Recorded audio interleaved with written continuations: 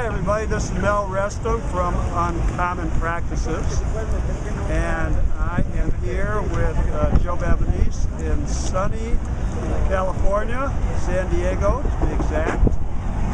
And we are at the American Psychological Association Convention. Believe it or not, there are over 13,000 psychologists at this convention. Um, spread out amongst a bunch of hotels in a huge convention center. Uh, Joe and I just attended a talk on uh, telehealth and all of the intricacies that go into that. It's quite daunting, um, but a lot of changes are going to be occurring in the next uh, number of years.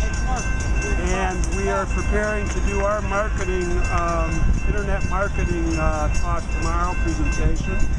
Um, and looking forward to it. Joe is taking these pictures, so he can't be in this picture with me, but he says hello. Nice to see you. Take care. Bye-bye.